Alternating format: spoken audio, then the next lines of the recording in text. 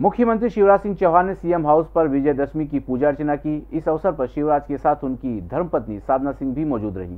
विजयदशमी के अवसर पर मुख्यमंत्री शिवराज सिंह चौहान ने पूजा अर्चना की। इस दौरान सीएम कार्यालय के सुरक्षा स्टाफ सहित अन्य अधिकारी कर्मचारी सम्मिलित हुए।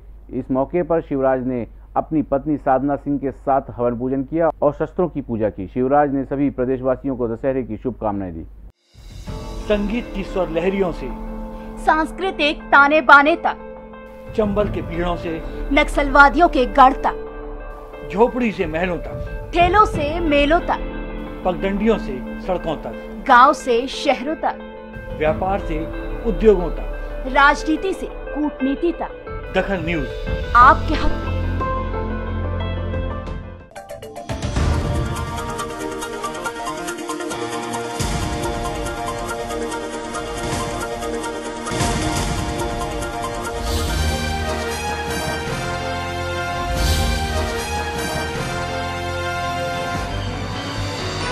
आप देख रहे हैं दखल न्यूज़।